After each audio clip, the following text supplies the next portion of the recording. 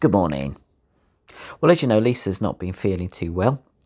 Uh, and so we won't have the videos for a few days. Um, I will just say, in case anyone's really worrying, um, she's not waiting for the result of a COVID test or anything like that. She's just um, been unwell, um, and I hope she'll be back on form in a couple of days' time. But in the meantime, please pray for her.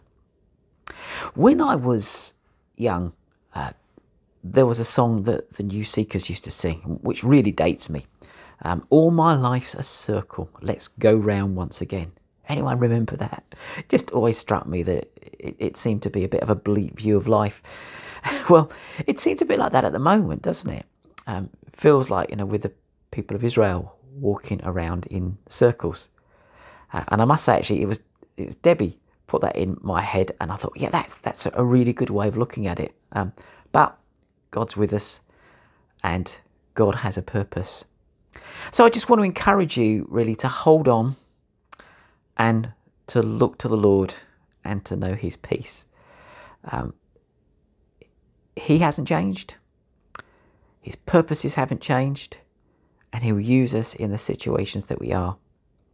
And a verse has been on my heart in the last few days, and I've shared it with a few people.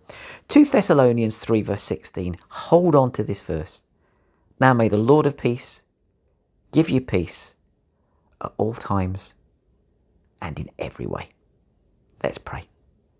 God of peace, we praise you that you know the end from the beginning, that you haven't put us in a futile situation where life seems to be just going round and round and round in circles, but actually you have a purpose in this repeating chain of events.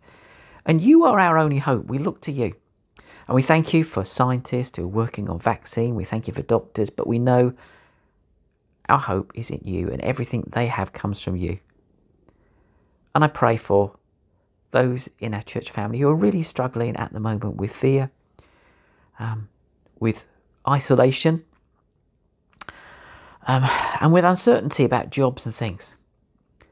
I pray your hand to be upon them. I pray, God of peace, that you will give us peace in every way at all times. And we do pray for Lisa. We thank you for the really encouraging videos that she's brought. And we pray that you would give her peace and rest and healing. In the name of Jesus. Amen.